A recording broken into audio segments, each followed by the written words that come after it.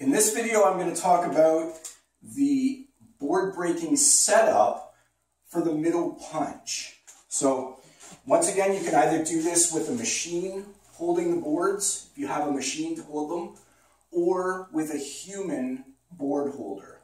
Now, if you have a human board holder or multiple board holders, the middle punch hold is going to be like this. So the grain is going horizontal this way. The board holder is going to be holding the top and bottom of the board. And you are expected to do, for this level, two pieces with a middle punch. So two pieces means two pieces held tightly together, no space in between. Whenever we're talking about boards, we don't have a space in between the boards. They're held, always held tight together. So from here, just like this, and then adjust the height accordingly for middle punch. And the easiest way to adjust the height is to adjust the length of your walking stance for the people that are holding.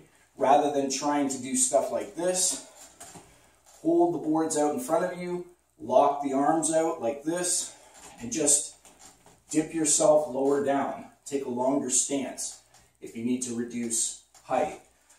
So for this one, middle punch, we're looking at solar plexus level is the expectation for middle punch. So looking from the side, this is what the setup would be. And you can have one holder for two boards that is acceptable. Some people prefer to have two people holding. One person holding on one side, one person holding on the other side, just for extra strength. So if you have two board holders, that's even better. So the one board holder that's on one side is going to be like this, and the board holder, in fact, could be this way here actually, just like this, and the board holder that's on the other side is going to be like this. So, but one, one holder is sufficient, but if you have two, that's even better. And if you have a machine to hold the boards, that's probably the best option.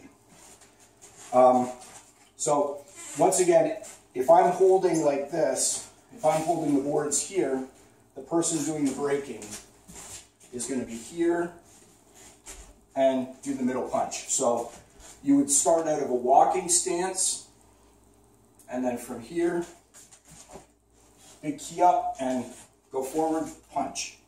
And once again, should be aiming for the center of the board.